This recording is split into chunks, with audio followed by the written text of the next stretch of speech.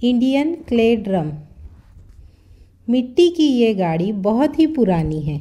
आज से तकरीबन पाँच हज़ार साल पहले मोहंजोदारो और हड़प्पा की खुदाई में इस तरह की गाड़ी पाई गई। ये हिंदुस्तानी खिलौनों की एक खूबसूरत बाक़ियात है। इसमें आप देख सकते हैं कि पहिए मिट्टी के बने हैं और इसका जिस्म बाँस का बना है और इसमें मिट्टी का एक प्याला है जिस पर कागज़ चस्पा किया गया है, जो तबले का काम करता है।